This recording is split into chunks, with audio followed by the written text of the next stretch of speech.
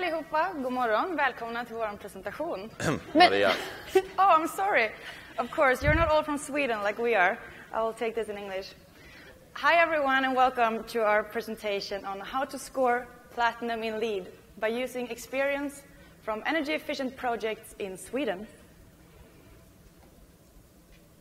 Our ambition for this session is that you will be able to describe the sustainability factors behind Sweden's success in LEED, and also to list energy efficient methods that can be used for more sustainable buildings. We also hope you that, that you will be able to demonstrate positive effects that LEED can have on a new market, such as Sweden, and also that you will be able to make your own projects more sustainable by learning from these solutions that we'll present to you. This is our agenda for these 60 minutes. And we'll soon be done with the introduction, and then we'll give you a brief background on why sustainability is such, uh, why we have so high ambition on sustainability in Sweden and how we're working with LEED.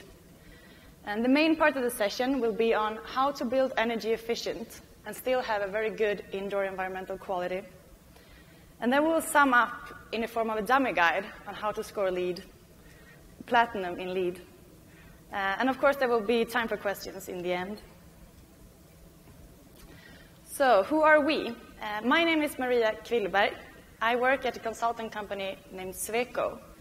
Uh, we work in the field of architecture, engineering, and environmental technology.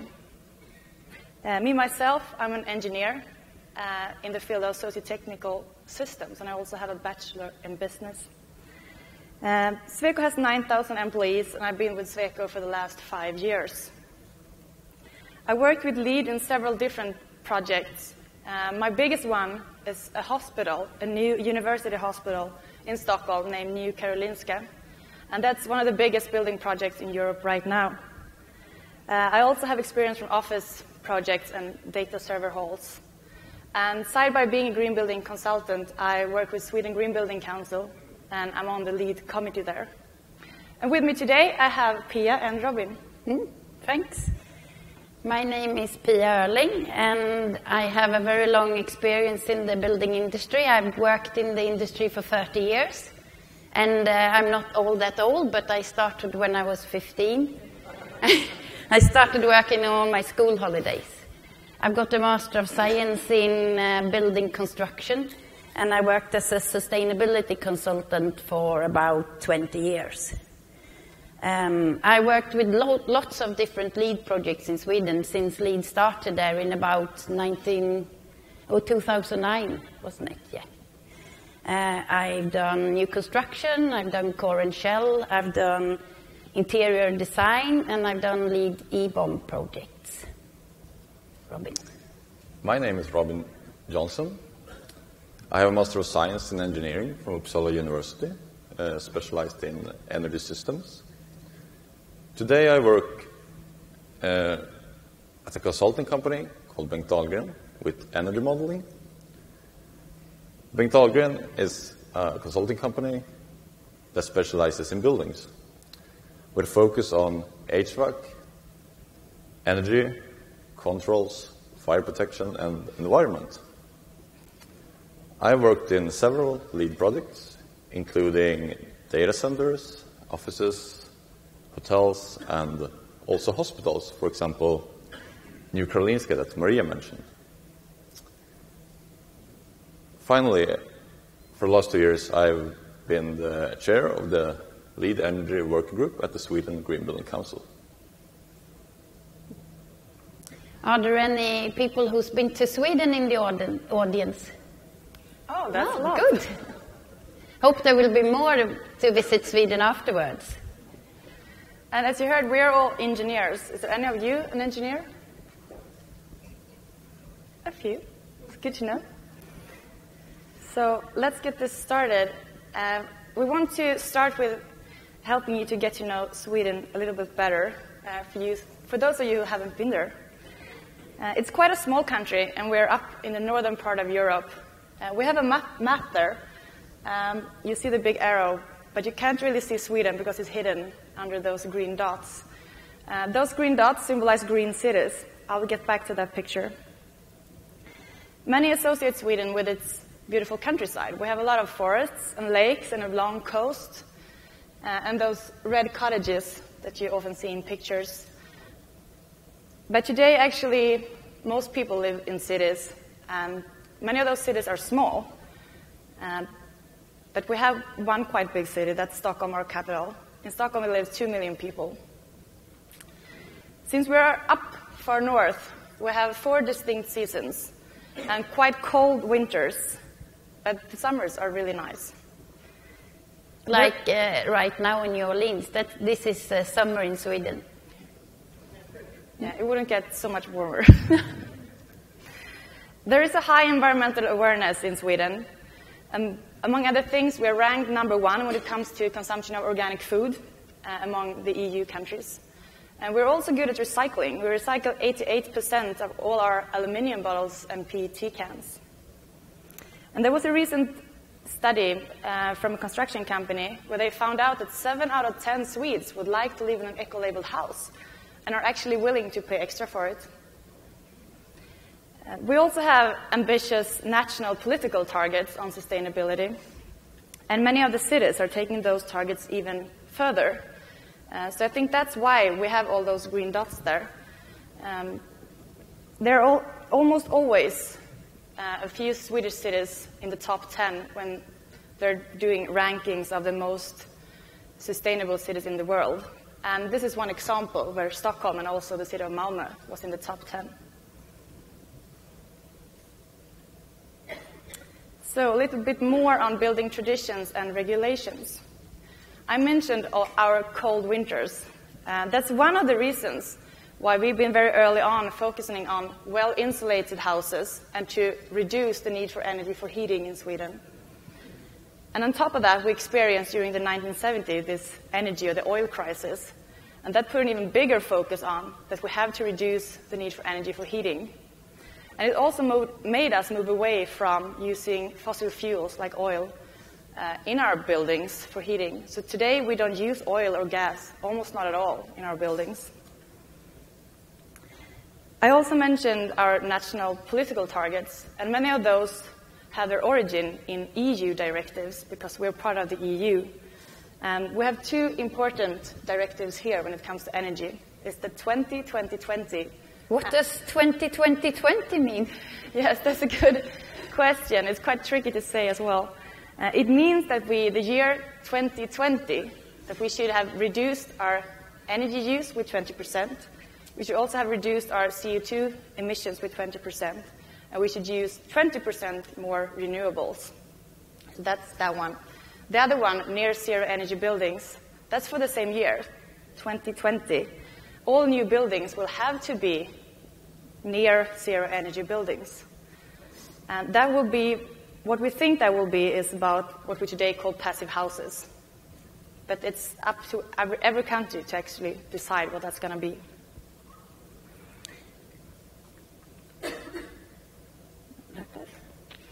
Uh, the building code, we should talk about that as well. Uh, we have a building code that we call BBR. Uh, its American counterpart would be ASHRAE when it comes to energy.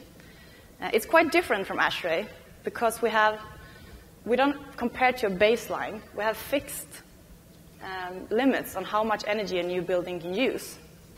So it's not that detailed on how to get to that target.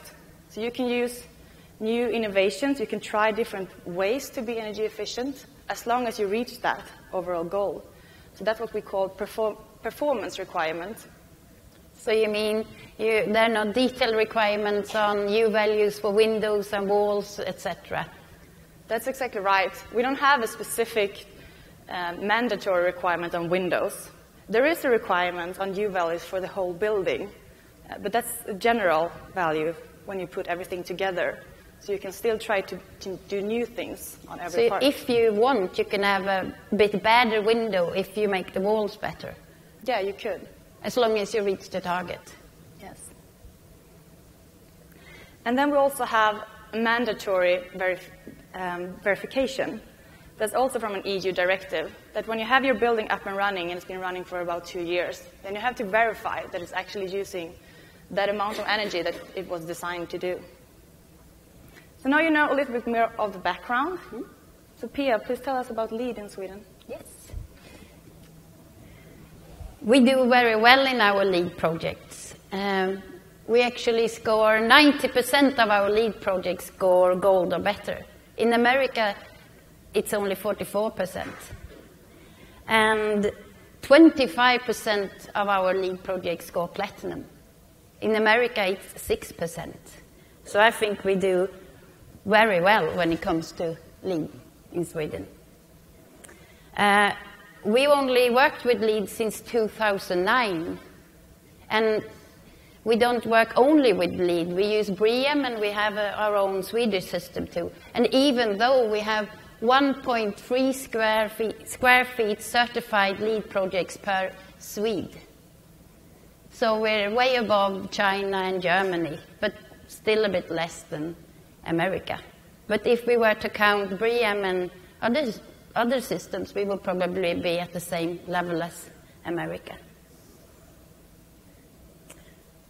Which are the highest scorers, scoring buildings in Sweden? This is the highest scoring. It is built by Skanska, and we have a representative here if you want to know something more about it later on. Uh, this is called Väla and it scored 95 out of 110 points in LEED, which makes it one of the top 10 LEED buildings in the world. Väla Gård is in the south of Sweden, and it's built in the nature reserve.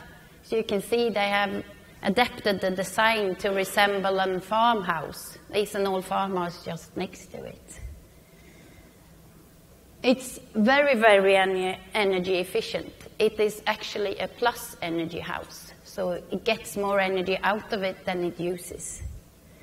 Um, the other top scoring buildings in Sweden are, are these. I will tell you a bit more about at least one of them later.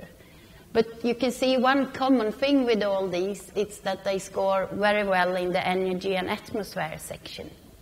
Lots of them score almost all the points in energy and atmosphere. So that's one of the reasons for Sweden's success in LEED, I think. Here are four examples of LEED Platinum office buildings, which I will tell you a bit more about. These first two ones, they are both Vasakronan buildings.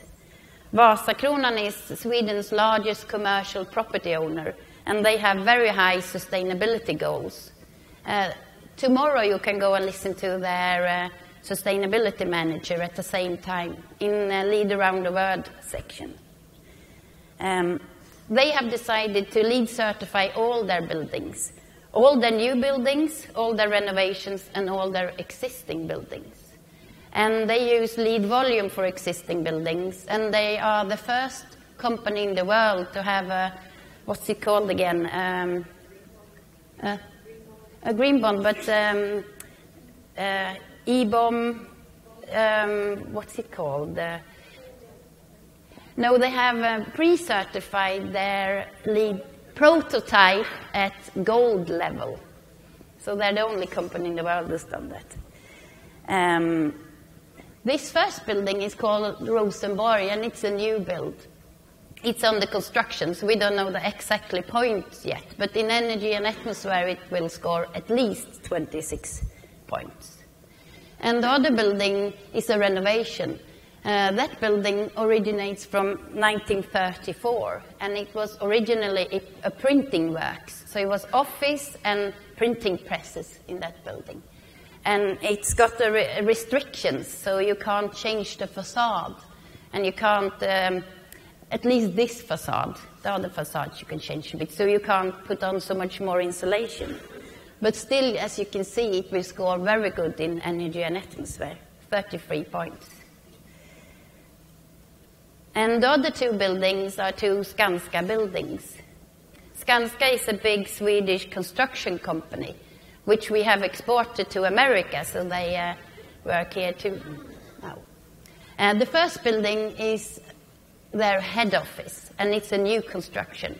And I think it's the only building in the world that has three LEED Platinum certificates. It's got LEED Platinum for core and shell, and two LEED Platinum commercial interiors, one for Skanska's office and one for Nordea office. It's a big Swedish bank. Uh, and the other one I've already told you about, Väla Gård. Both of these are very, very energy efficient. As you can see, they score very good in energy and atmosphere.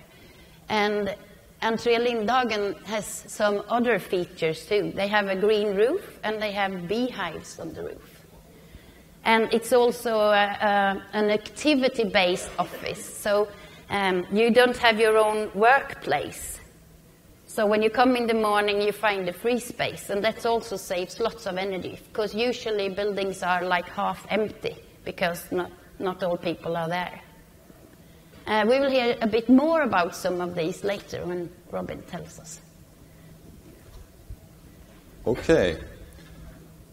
As you might know, there are often trade offs between energy efficiency and uh, indoor environmental quality.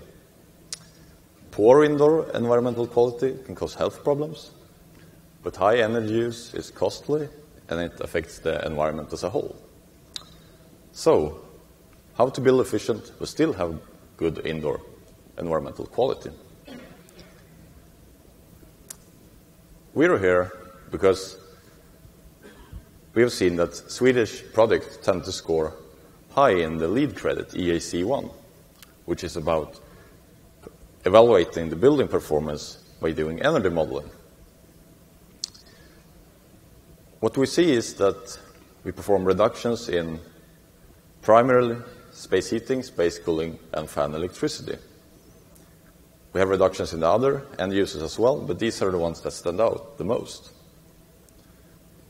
Overall reductions are as large as 40 to 60 percent, and this gives us full score in the credit. And since this is a large number of points in the whole certification system, it's very important for the success for platinum building. But Robin, you talked about the whole chapter of energy and atmosphere. Uh, it looked like in Pia's slide we score well on also the other credits. What about those?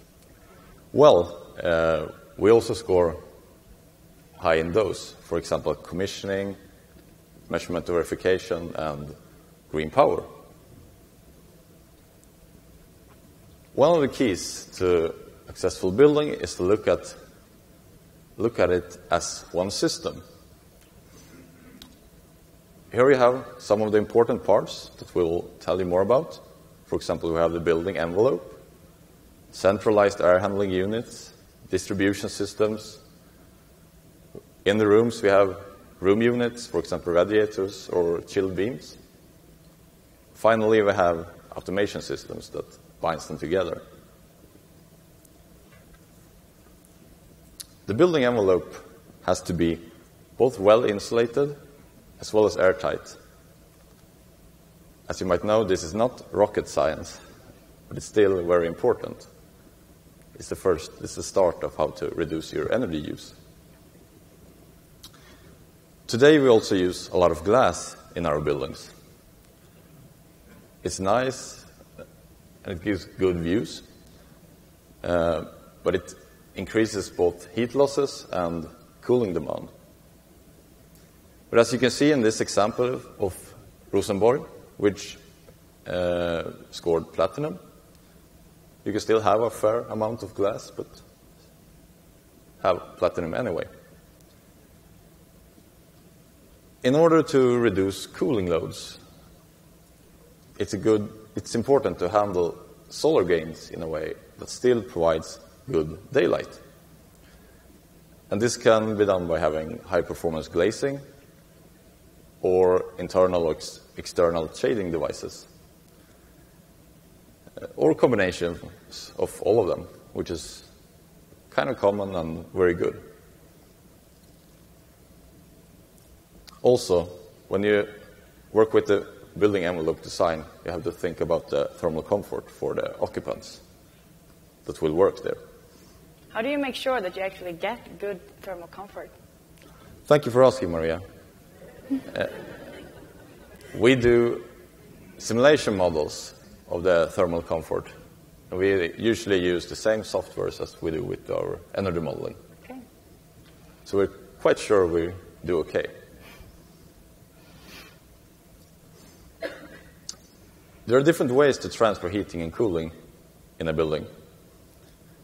We seldom use air to transfer heat. Sometimes we use it for cooling when we have very little cooling loads in the building. But as soon as we say we have a, like a cooling demand, we will use other ways. This is for offices, of course. Yes, thank you. This is for offices. Our designed airflows are only for outdoor air rates, for ventilation. Uh, and instead of using air, we use water to carry the heating and the cooling. And in the rooms, we have room units, like for example, you can see here on the screen, we have heat convectors or radiators placed below windows in order to give better comfort for people who sit close to the windows. And in the ceiling, we have chilled beams, which I realize now it's not so common here in the US, but in offices in Sweden, it's very, very common. So we generally also score good on IAQ 1 and uh, ventilation rates. Since yes. we use, yeah. Yes, that's right. So why use hydronic systems? First of all, it's way more efficient to transfer energy by water than by air. It also gives better comfort. For, as I mentioned, for you can have radiators below windows, but also you don't have to have these large airflows that hits you in the face or in the back or anyway. Um, and also you can reduce you can reduce the ducts, so you don't have to have those tall rooms. The height of the room can be reduced, and then you save money.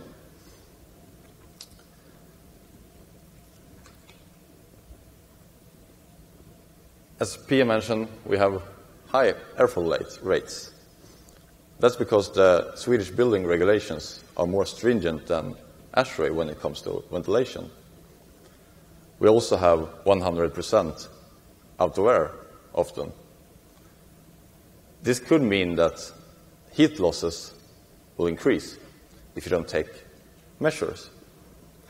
So what we do is we use energy recovery, efficient fans, and demand control ventilation. In particular, uh, heat recovery is very important. As you can see, can everyone see here?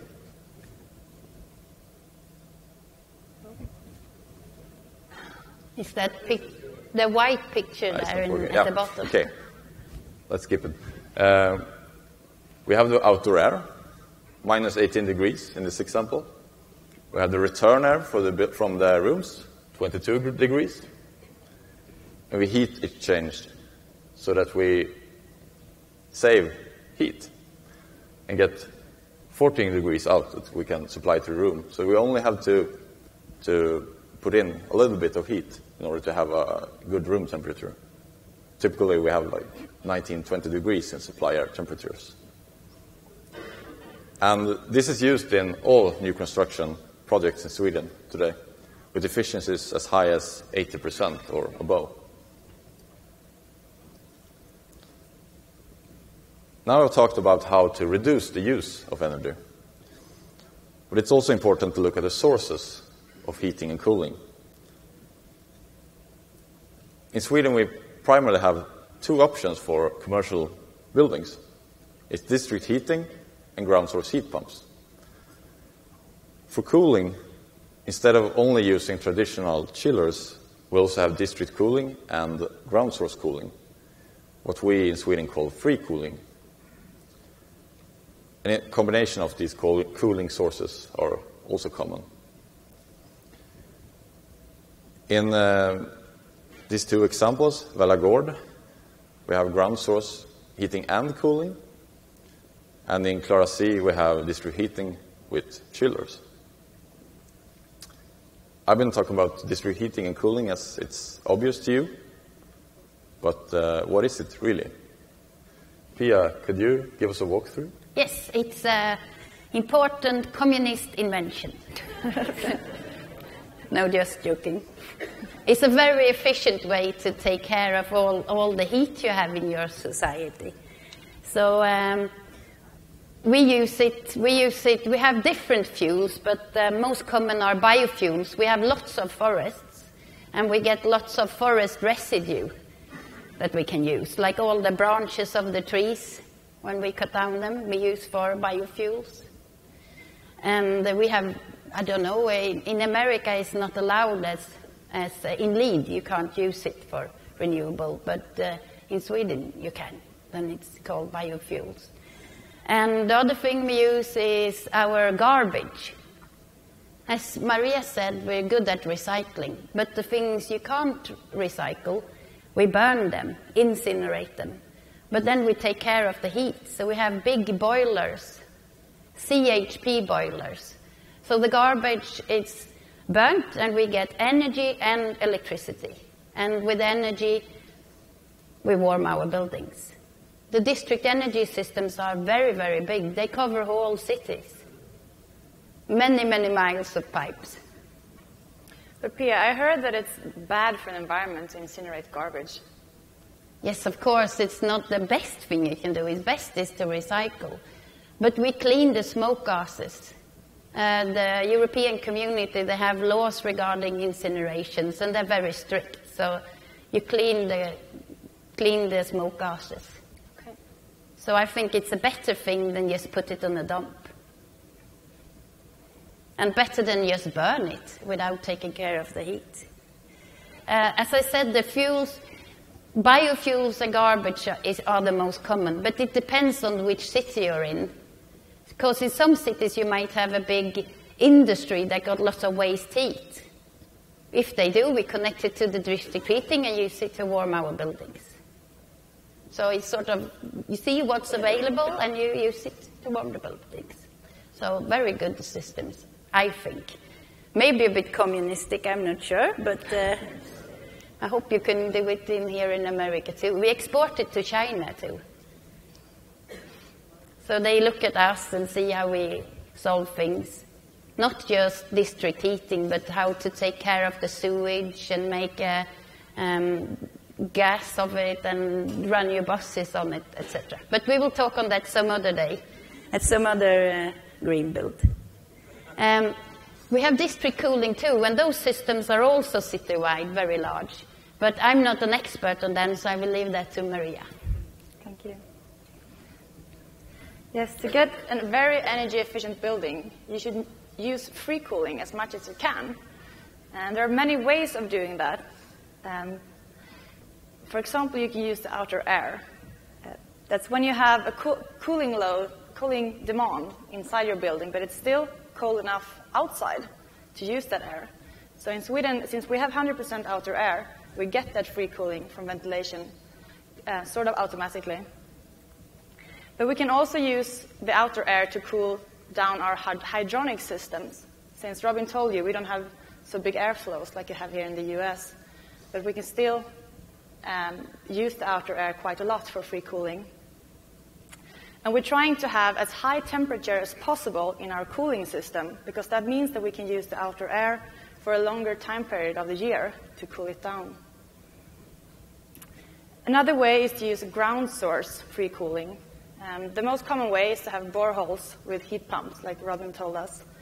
And we have one example here, the Entré Lindhagen, the Skanska project, and they have their own patented solution called deep green cooling. And it's very energy efficient. They don't, they don't even have uh, a regular heat pump. So it's almost, um, it's free cooling almost the, uh, the, only thing they get there.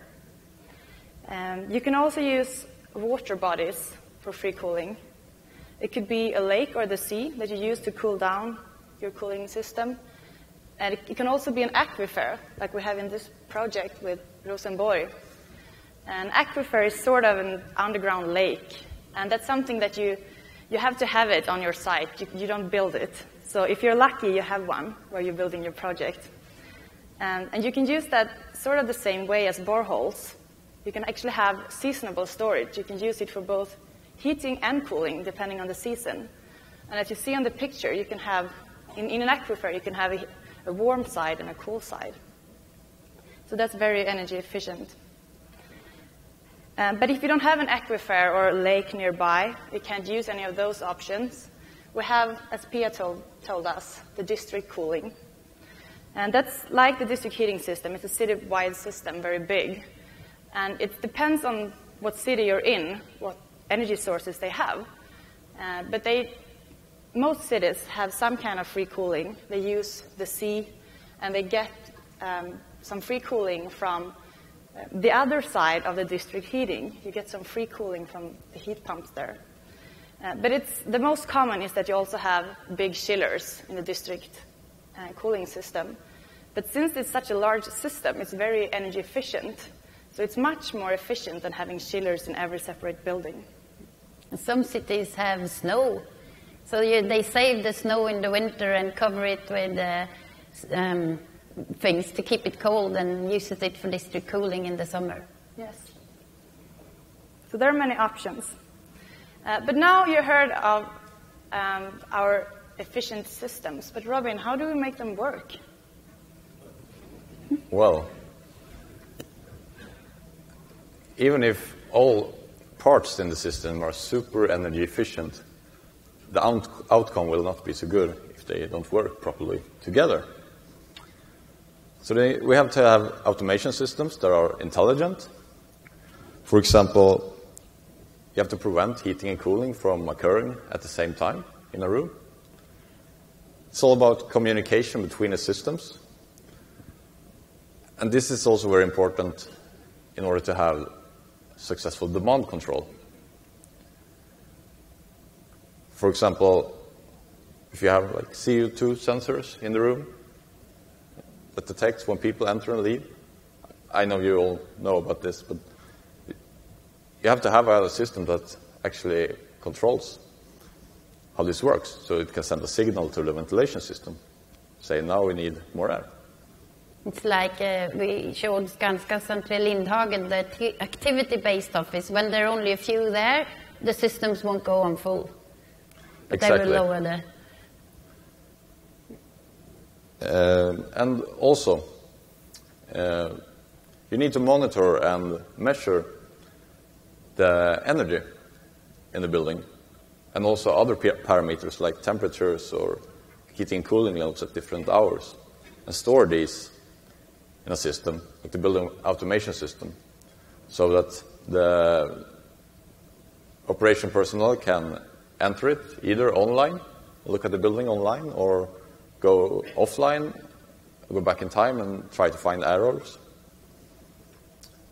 And it's also very important in order to have a successful measurement and verification program that you actually can follow up your building in a good way.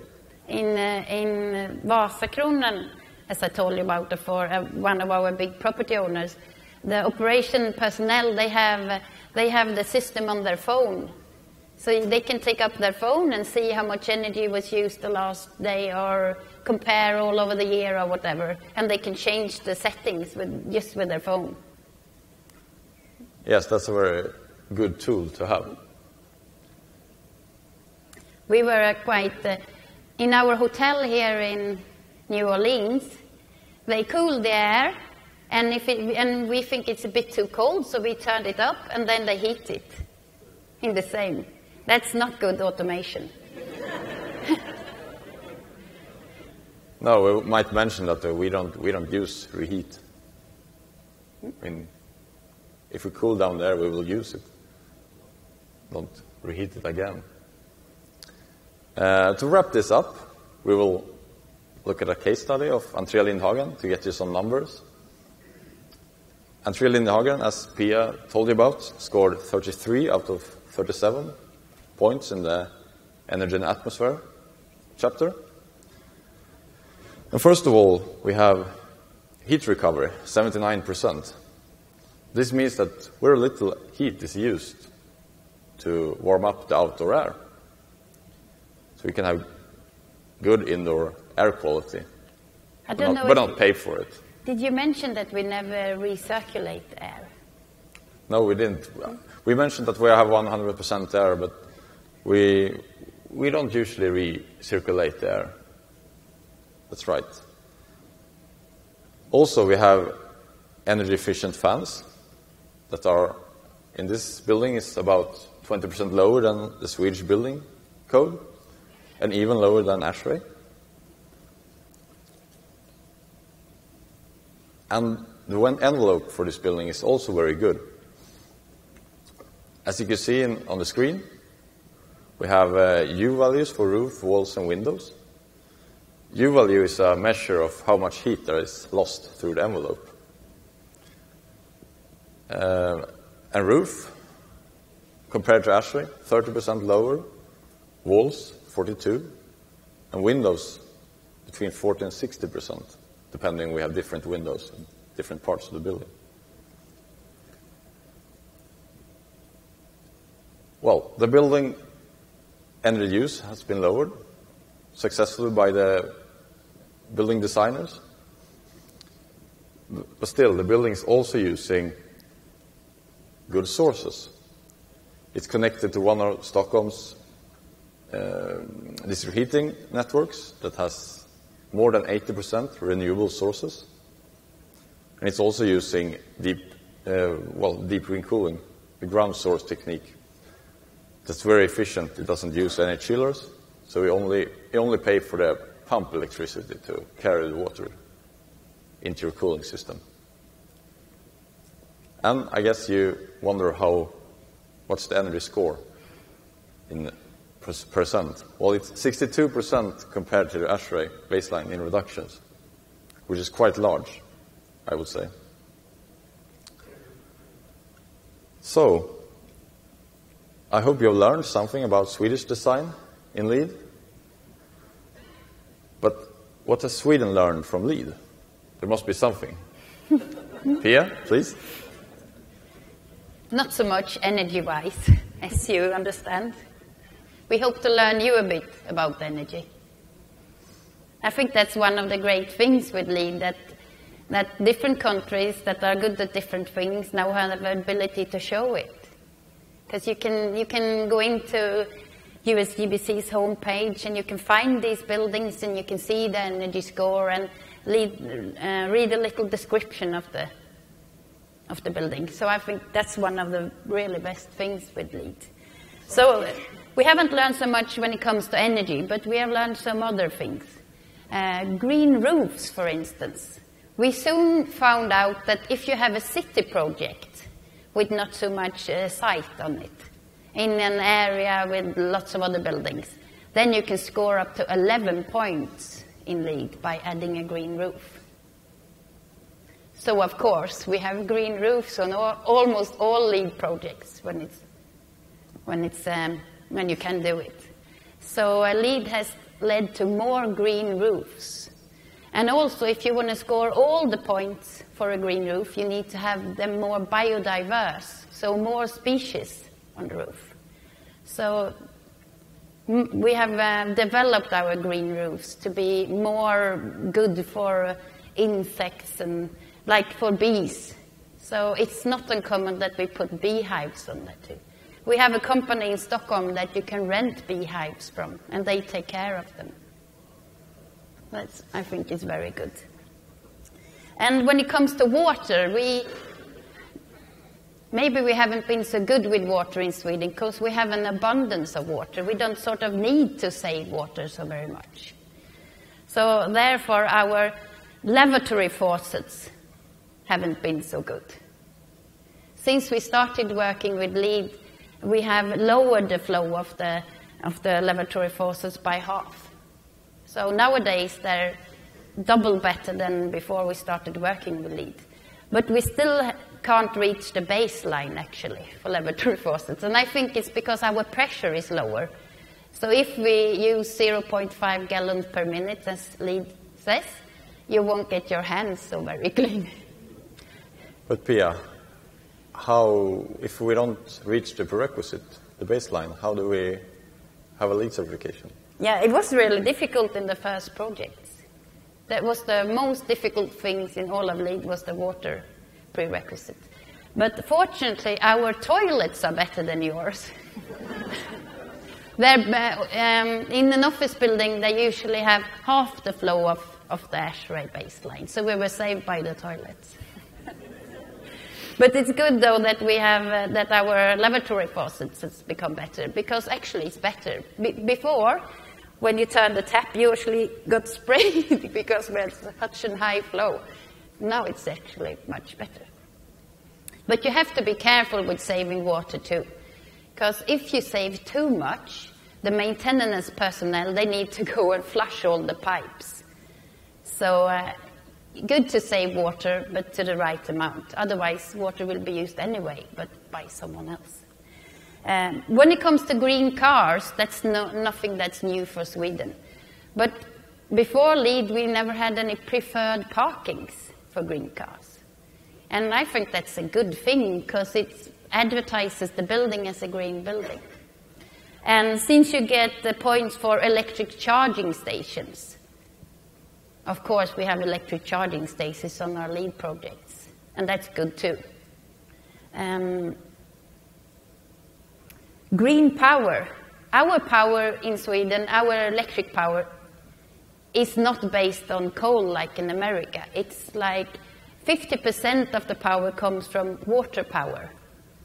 And the next largest bit is nuclear power. And after that is wind power and CHPs from the district heating. So uh, our power is quite green, lots of water power. But if we want to score in LEED projects, we're not allowed to use the water power since it's very large scale water power. So therefore, LEED projects has promoted wind power.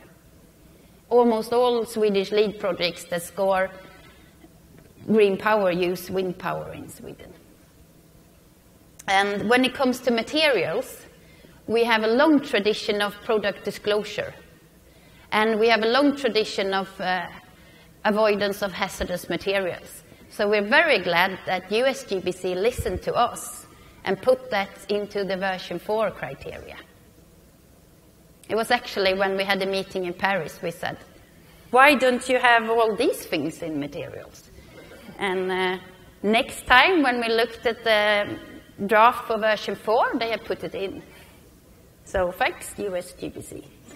Uh, but we focus very much on these things. So we haven't looked at all so much at um, renewable content or recycled content or regional materials.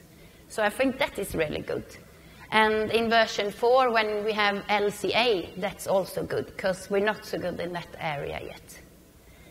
And another thing that I think is very good with LEED, that's it sort of changes the market. Because before it was just the sustainability managers that wanted to certify buildings, but now it's the business people. And I think LEED has an importance because of that, because it, um, business people like LEED better than the Swedish, which is called miljöbyggnad, environmental building. So I think that's really good. And also that it's changes our perspectives and lets us look at new things. That's what I think we have learned from LEED.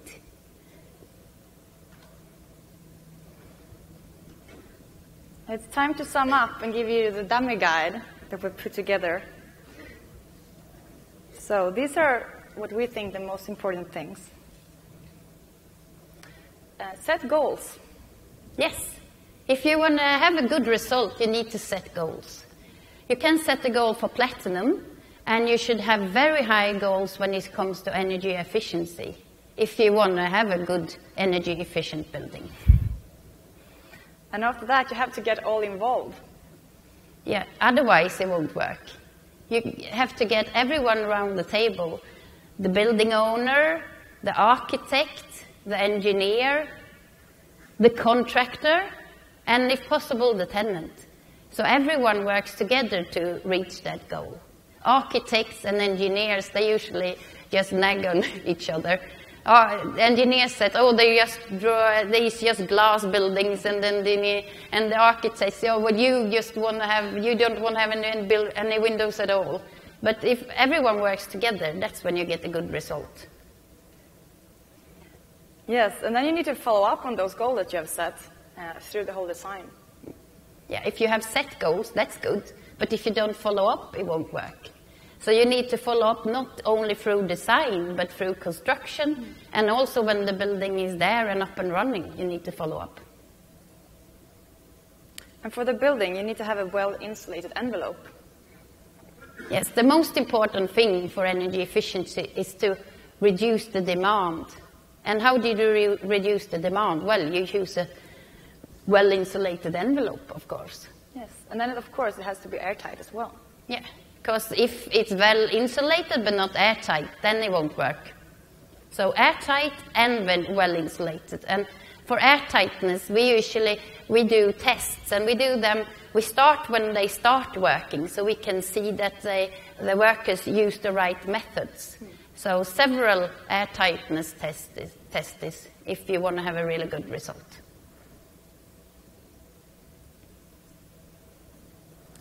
And then heat recovery. Yes, we need to have good heat recovery, especially in the ventilation system, as Robin told you.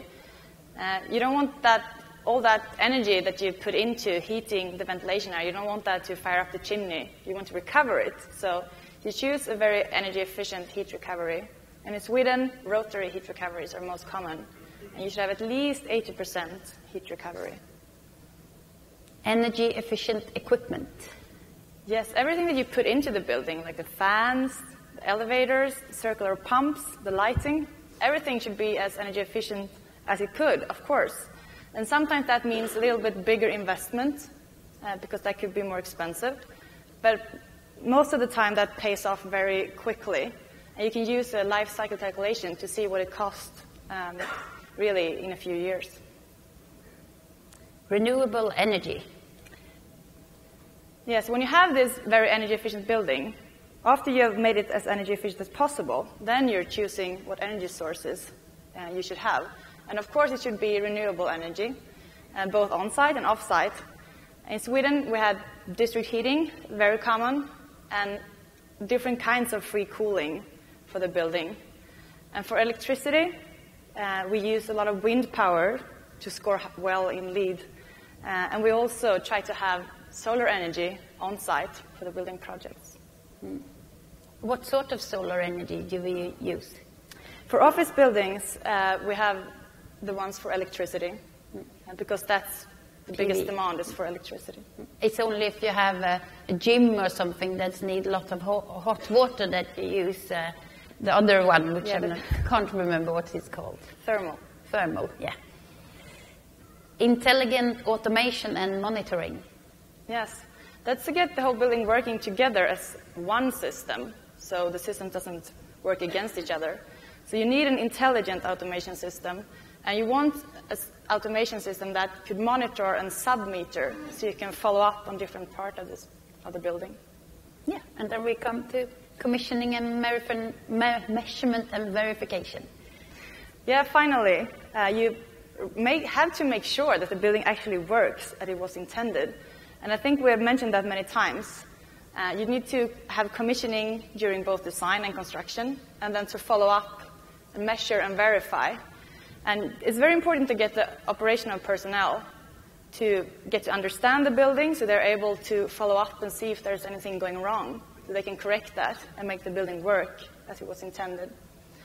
Uh, but when you have your building up there and you think it works fine, that's not the end of the story, because you want to have an energy efficient building the whole life, cycle of the building. Uh, so you have to keep monitoring and keep submetering. So keep up the good work with your building, and you'll have an energy efficient building. Well, thank you everyone for coming and listening to us. It's been a real pleasure. Oh, thank you.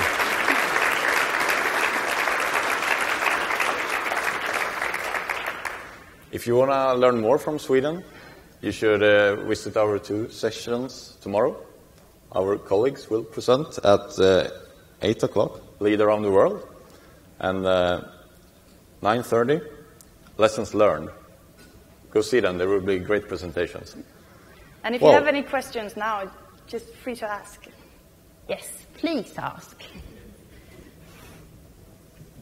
I'm Ed Bogish from uh, Syracuse University. So first, that was a platinum presentation. It was really. Thank you. Thank you. So the 100% outside air in, in most buildings. Um, a lot of a lot of questions here. I'm just going to ask about demand control. So what sensors are sensing the demand, and uh, is there a need for recalibration? Well, we, we usually have constant volume systems in offices. Uh, We have both constant volume and VAV systems. yeah, VAV systems are usually for meeting rooms or conference halls. Or like Entré Lindhagen. Yes. it's- And then you have CO2 and he- heat. So temperature and CO2 is what they usually regulate the VAV system on. But also manual buttons for occupants that enter the room. And it's very common that you have also time schedule. So you can have those CO2 mm-hmm. and temperature, but then you also, the building turns down itself a certain time when it thinks that people's gone home. But if there's someone there, it will notice that you're there, that someone is moving.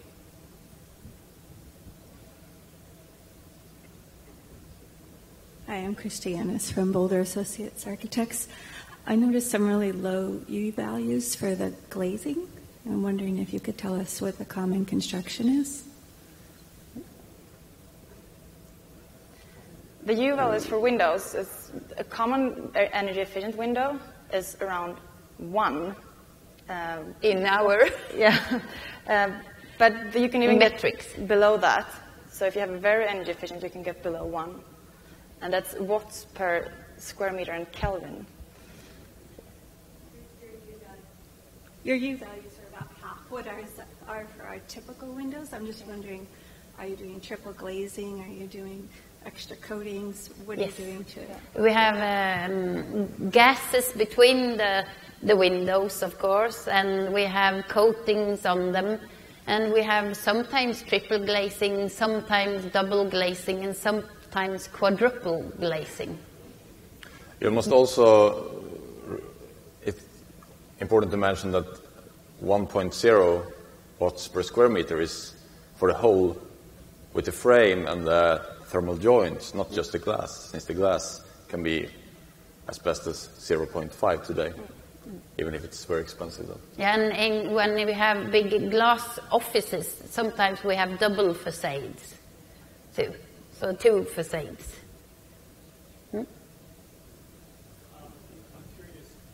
how long your uh,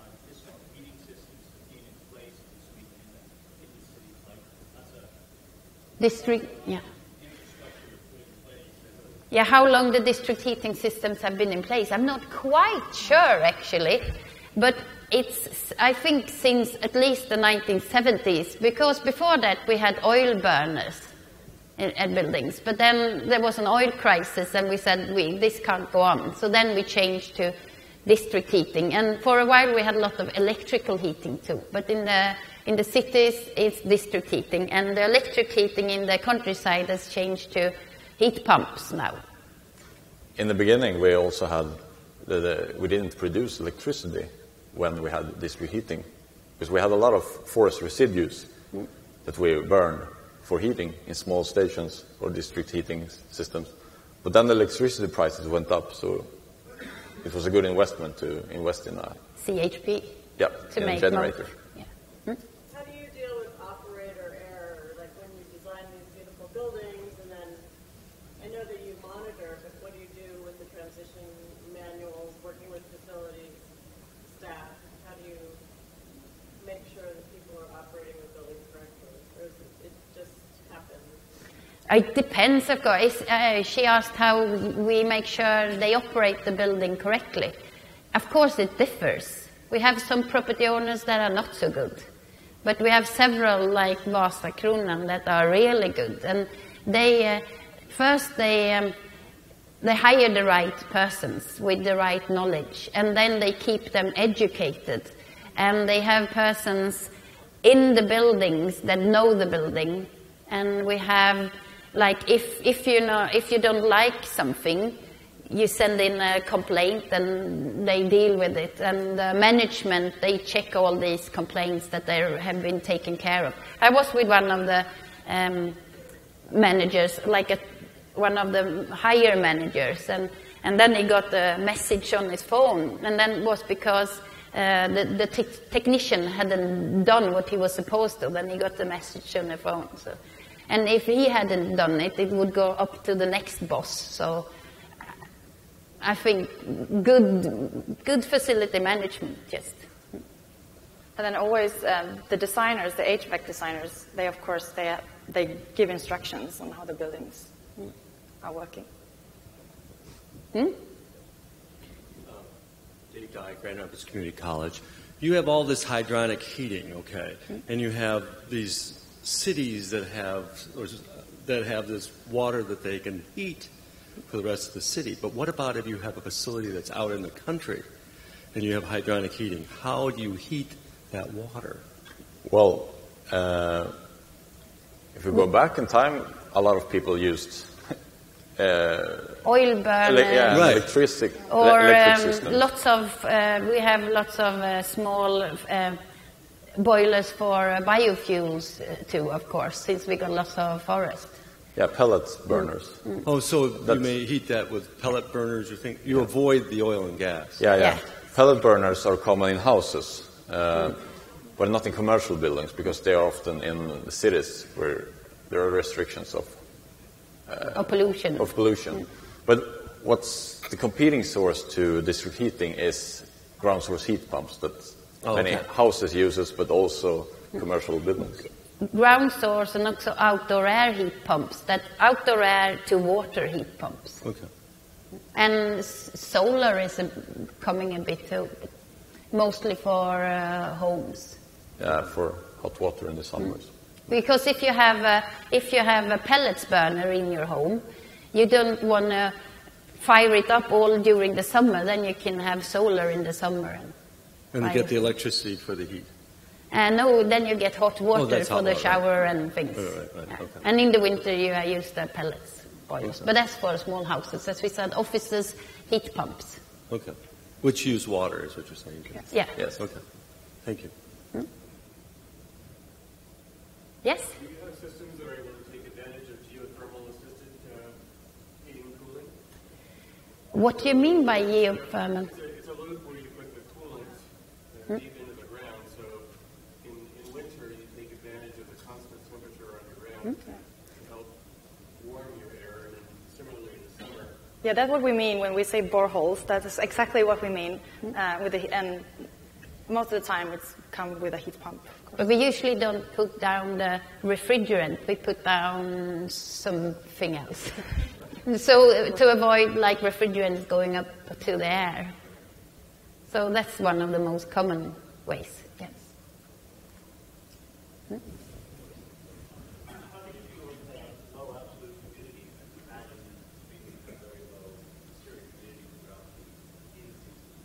Low, yeah.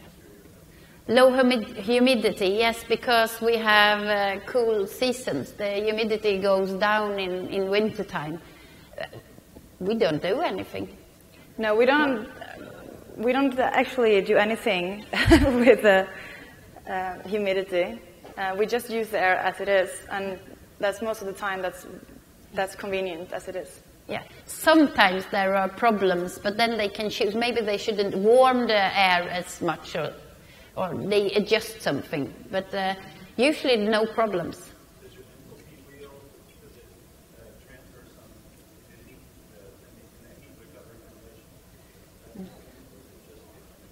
No, it's just the energy. Uh, he, he asked about um, the heat recovery, the rotary recovery, if it's if any humidity it's passed through that, but it's mostly energy that's transmitted there. So we have, uh, we've uh, seen that in America they talk about mold in the systems. That's something we're very uncommon with. Yes.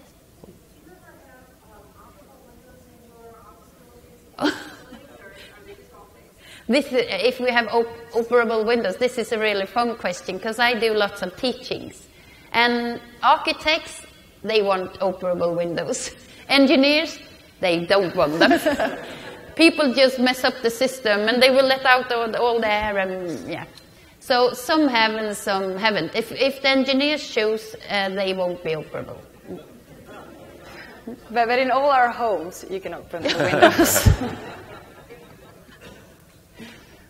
Well, if you have more questions, you can stay and talk to us, or we'll get a business card, or you can write down the email address and just ask any questions later on as well. Mm-hmm. Thank you. Thank you. Thank you.